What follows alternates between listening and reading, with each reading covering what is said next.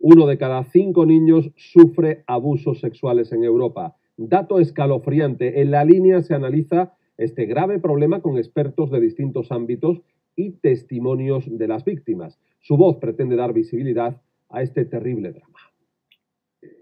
Un virus que mata infancias, título y descripción literal de un horror silenciado que hay que visibilizar para restaurar vidas truncadas por los abusos sexuales.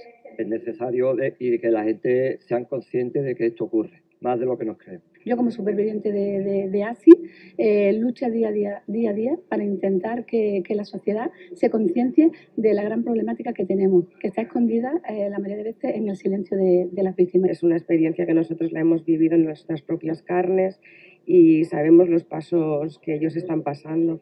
O sea, sabemos por lo que están por lo que ellos están viviendo y los pasos que deben de seguir, lo que cuesta, lo difícil que es y lo duro que es, los traumas por los que ellos están viviendo y las secuelas que quedan, que son durísimas. Sanidad, justicia, educación, medidas policiales, cuidar a la víctima requiere de un trabajo integral. Estos episodios no se producen eh, por, por, un extraño, por alguien ajeno, sino se realiza por personas referentes dentro del entorno familiar o del entorno de amigos de la familia. La revelación por parte del menor muchas veces no es correspondida o no es apoyada intentar tomar la declaración a las víctimas con la, con la mayor sensibilidad posible, dándoles su tiempo para denunciar y nunca Queda por hacer, sí, pero los y las supervivientes arrojan luz y esperanza dando voz a lo que les obligaron a callar.